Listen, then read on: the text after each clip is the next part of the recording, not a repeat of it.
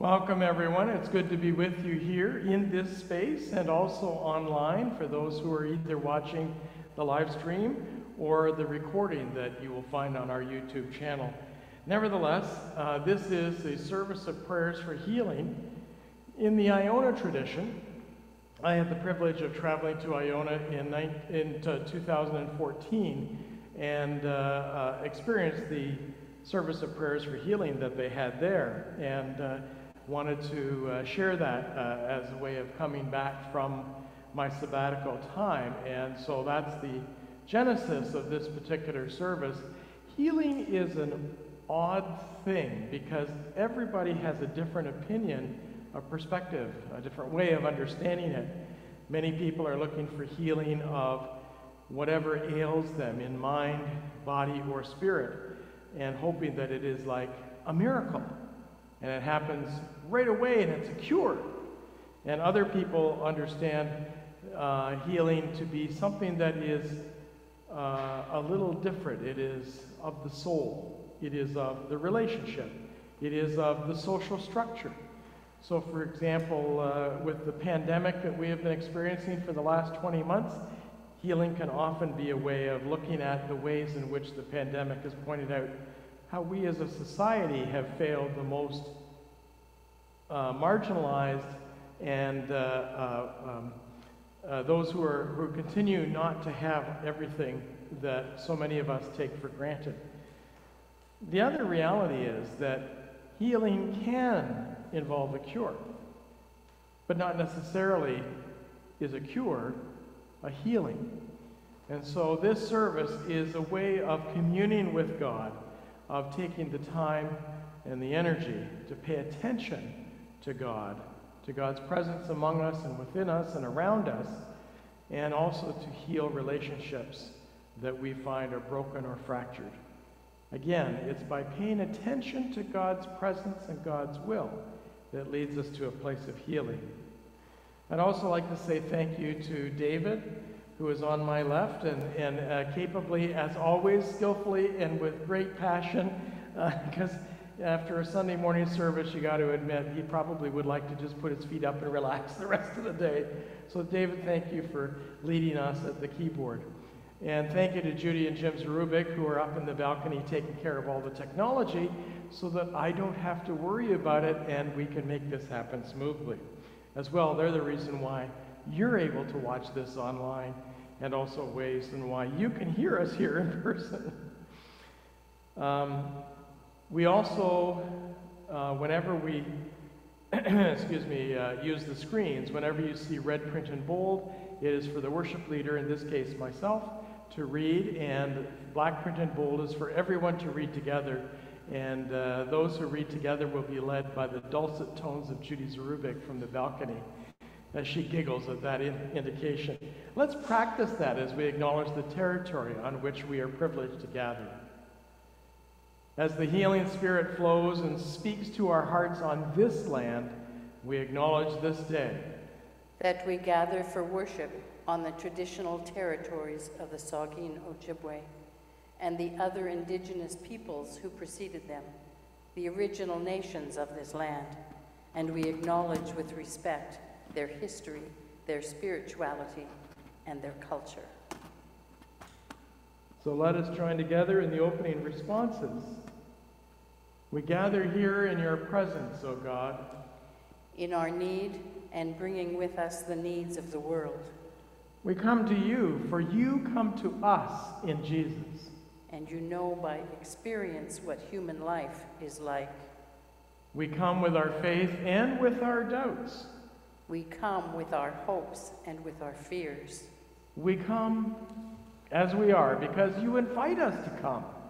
And you have promised never to turn us away. Let's join together in affirming that by singing, My soul finds rest in God alone.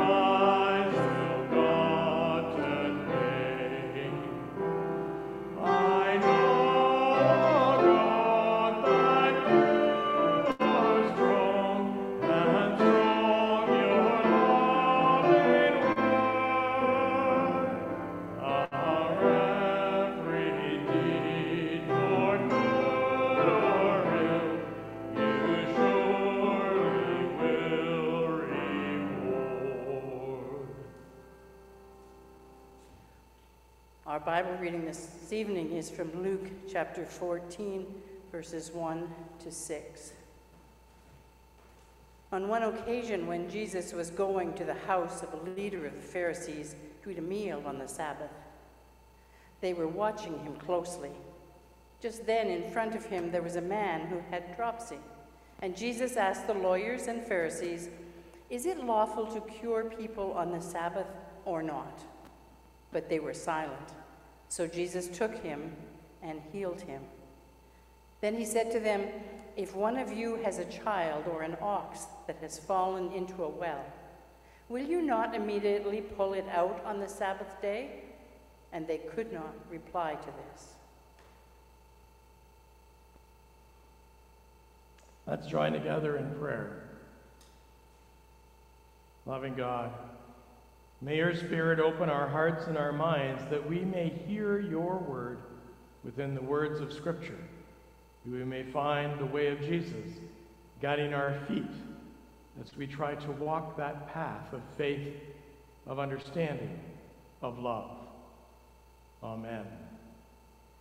So if you take a look at the picture on the screen, uh, the uh, passage that Judy just read talks about a man who was at this party who had dropsy. Now, dropsy is an old word for basically edema, too much fluid. So in this picture, you'll see that the, on the picture on the left-hand side, you press a finger into a, a, a leg that is full of edema, and then you take your hand away, and the indentation remains for quite a while. That's really all it is. But the reality is that when Jesus was invited to this party, this isn't the first time in Luke's gospel that Jesus was invited to a party where the Pharisees were the ones who were the hosts. Jesus was invited, hi Bob, just like Bob's invited. Jesus was the one who was invited, and yet there was an agenda. It was a case it was a case of having Jesus there so they could watch him like a hawk. So, the gentleman who was there, who had edema, who had dropsy, was not an accident. And after all, the meal that was scheduled for Jesus' invitation happened to be on the Sabbath. Because Jesus had already built a reputation as someone who would defy the, the, the Jewish authorities in the temple and would heal on the Sabbath. And yet, all of the, the uh, teachings in the Mishnah, which is one of the holy books of Judaic faith of the time, was that you were not allowed to work whatsoever on the Sabbath. And healing was seen to be work, perhaps work of the most divine and lofty nature, but nevertheless, work. And so, they watched it. And I'm willing to bet that they put this man who was living with edema, and often edema is caused by any number of things, but usually that means somebody's not in great health, especially in those days. I'm willing to bet they put this man right in a seat where Jesus could not possibly miss him. Jesus walks in, and he knew in some ways that he was going into a risky environment. But Jesus was always there, no matter who the person was. You were never too powerful nor too marginalized for him to consider you as a person, as someone deserving his attention. And so he saw the man. And you can just imagine him thinking to himself, well, here it goes again. I've been set up once more, so let me just address the issue right away. So he looks at everybody there, all the Pharisees, all the teachers of the law, the ones who go out to all the synagogues in the countryside surrounding that area, surrounding Jerusalem, surrounding their faith, the center of their faith, the ones who go out to interpret deliberately to the commoner what the Torah, the law, is all about. How shall we live? And these Pharisees are specifically assigned to tell them And Jesus says, rhetorically, Is it lawful to heal on the Sabbath? And you just see his words sitting out there with the Pharisees and everybody gathered around. It's kind of like a spectator sport, you know. And the people who are there go, Well, we know that it's not lawful. What's he going to do? And Jesus doesn't say anything more, but he acts. He heals the man of his dropsy and then sends him on his way. And it's interesting that the last part of that particular scripture is all about the crowd who was there seeing the value in what Jesus did. That Jesus didn't really call out the Pharisees. Jesus lived honestly and with humility, but integrity with who he was and the ministry he was trying to communicate. And you can just imagine that, like stones dropped into a pond and the ripples keep extending far beyond where they entered the water, so too did his action stimulate conversation, thinking, wondering, perhaps learning in all of those who not only heard him, but saw him. Jesus didn't reject anyone. But Jesus did reject that which would separate people from one another, that would stop them from doing good for one another, that would stop them from being righteous, and righteous being the term for right relation, of, of building those relationships that are mutual and life giving and loving. In this healing narrative, the biggest healing that Jesus was trying to accomplish.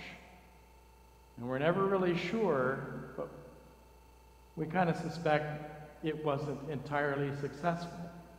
That Jesus was trying to heal the attitude of those at that meal, all the privileged and the powerful, all those who knew where their station in life was, all those who were secure, safe, comfortable that their understanding needed to be turned upside down. That what was important was the persons that needed their love. And I can only imagine how intimidating that must have felt to the Pharisees, to their families, to their servants, to those who wrote it down. Because obviously some of the disciples were there as well. When we heal in that way, we seek understanding in our faith. We seek to see in the other person not an enemy, but an opportunity for a new relationship. That is the most powerful part of the gospel is the healing that we enact between one another. For the prayers of intercession that we will soon be offering, there will be a series of silences. During those silences, you are invited to name people, events, or groups, either silently or aloud.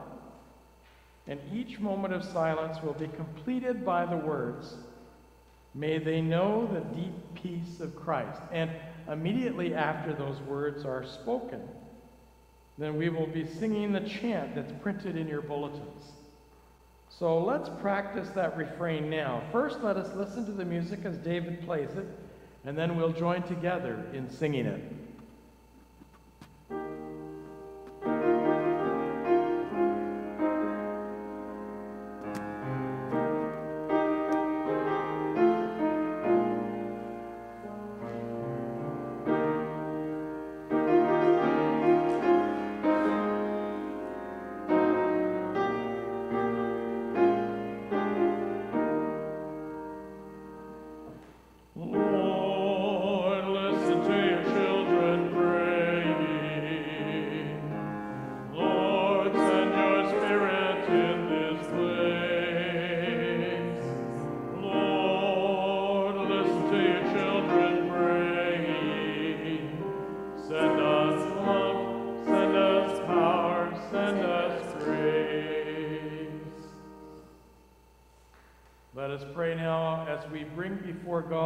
Those for whom prayer is offered. Loving God, you share with us the care of creation and call each of us by name. We remember that those who encountered Jesus found acceptance, healing, and the possibility of new life. That the disciples, though imperfect human beings, through prayer and touch, helped others to find healing in the power of your Holy Spirit. And so, in the name of the triune God, we pray. Loving God, we hold in your healing presence those who suffer pain and ill health with their families, friends, and those who care for them.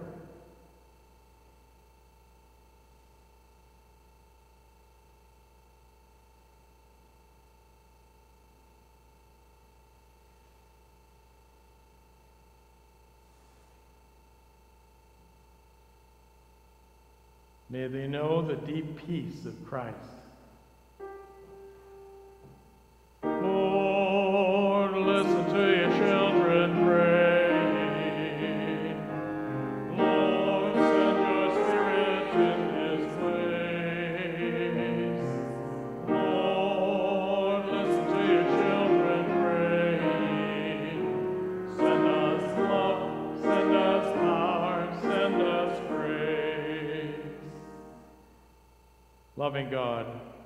We hold in your healing presence those who suffer in mind and spirit, and all those who care for them.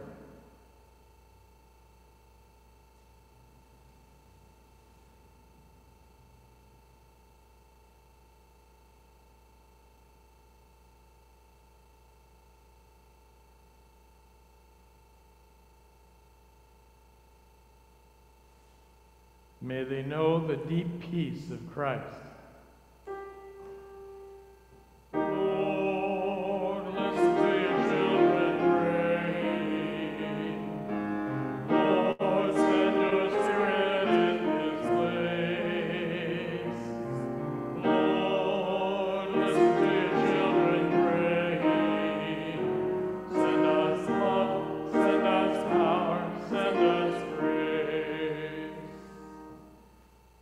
Loving God, we hold in your healing presence the suffering people of our world in the places where people are experiencing division, injustice, and violence.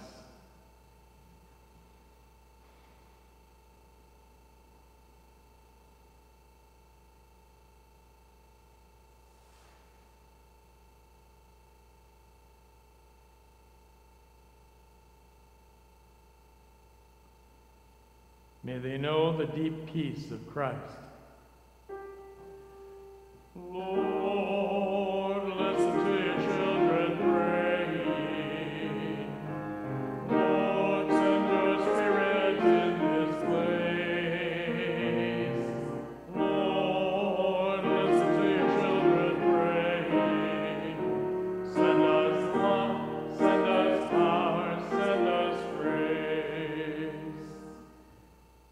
Loving God, we hold in your healing presence those struggling to overcome addiction or abuse, those supporting and working with them, and all those suffering has distanced them from those who love.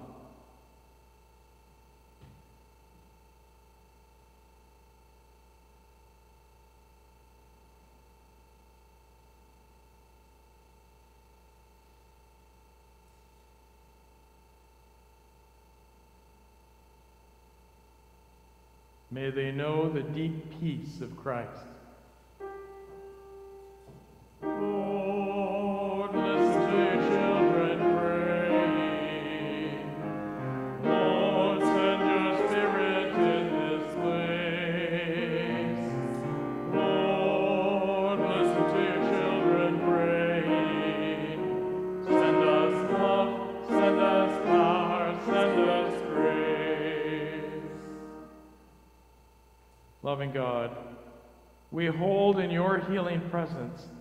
Those facing bereavement. We also pray for those who have died.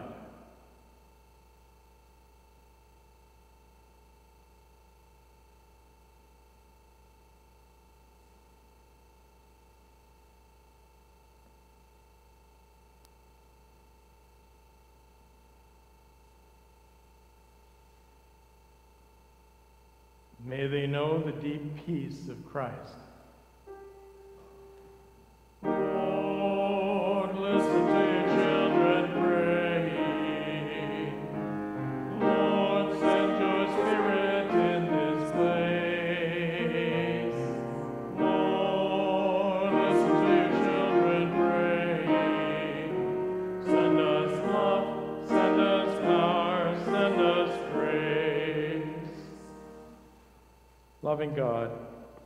Give you thanks for health restored and prayers answered.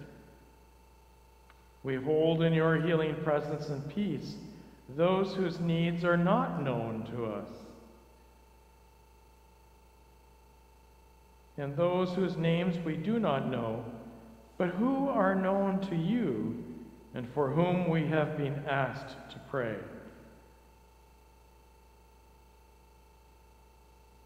And we name in our hearts those who are close to us.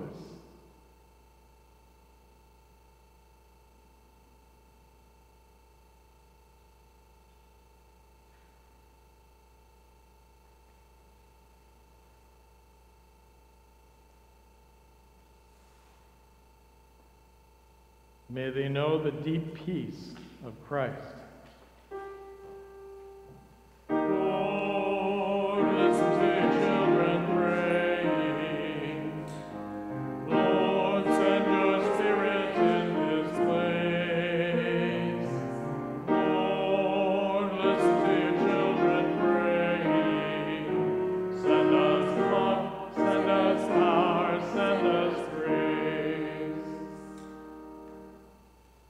May your wisdom, God, guide nurses, doctors, and all those who work in every part of our healthcare system here and those laboring around the world.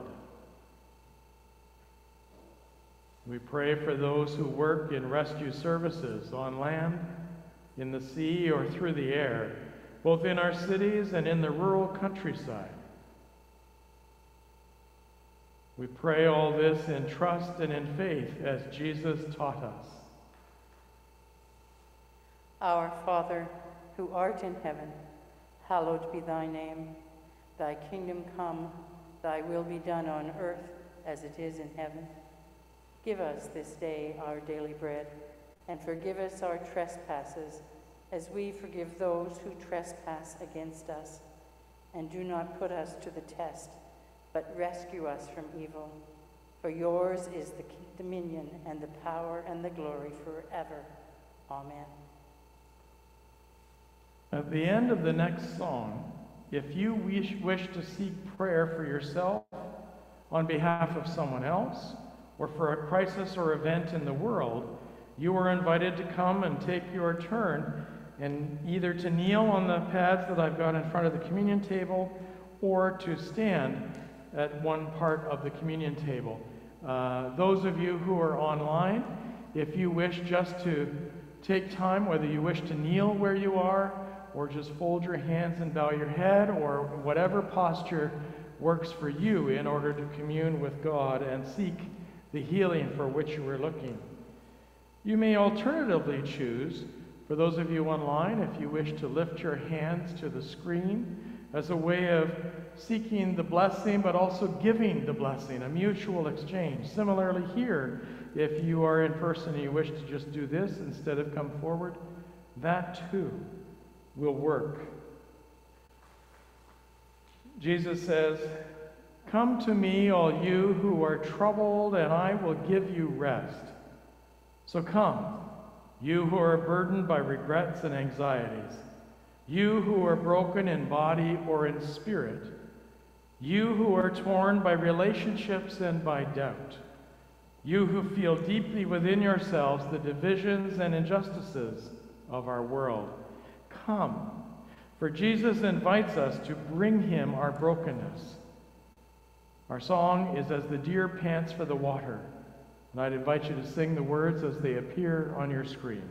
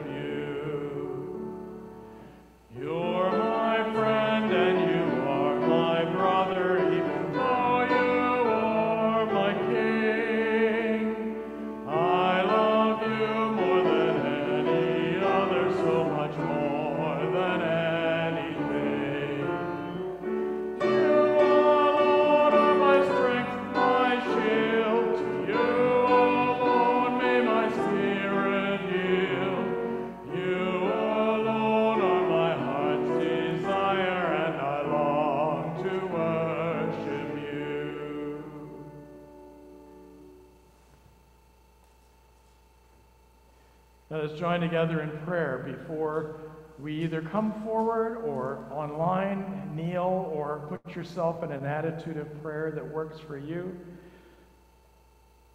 Let us join together in prayer. For the laying on of hands as we lift our prayers for healing. God our Creator, we are held in your everlasting arms. Jesus our Savior, we are healed by your wounded hands. Holy Spirit, be present as we reach out to one another in love.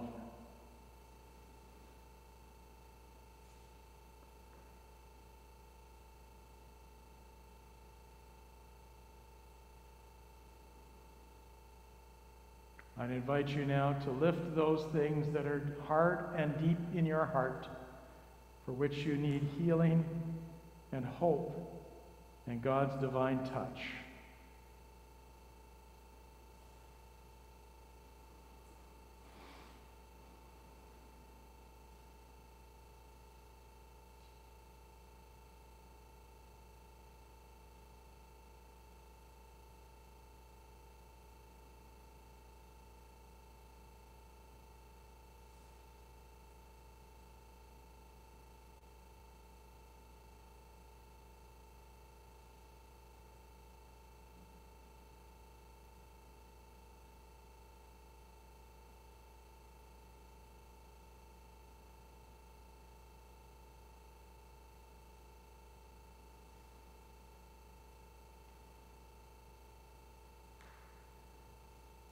To share in that healing power. Let's lift our hands to bless one another, to convey the power of Christ.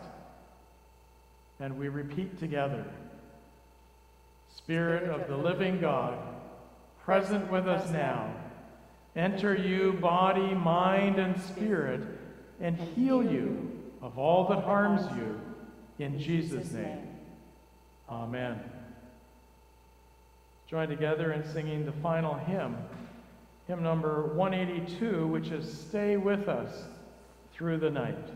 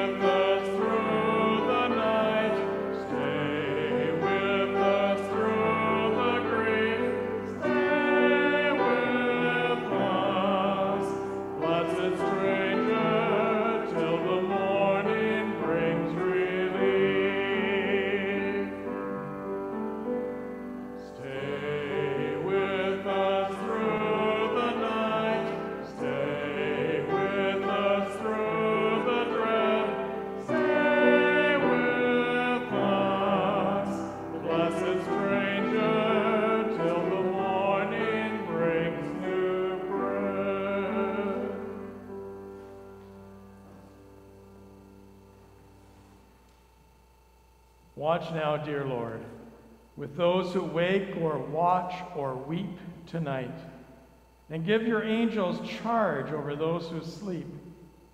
Tend your sick ones, O Lord Christ. Rest your weary ones. Bless your dying ones. Soothe your suffering ones. Pity your afflicted ones. Shield your joyous ones, and for all your love's sake. And now may the God of hope fill us with all joy and peace in believing, that we may abound in hope in the power of the Holy Spirit. Amen. If you are online, feel free to rest in God's Spirit for as long as you feel the need. Here in person, feel free to stay as long as you wish. We're not locking up until everybody is good. Go in peace. Amen.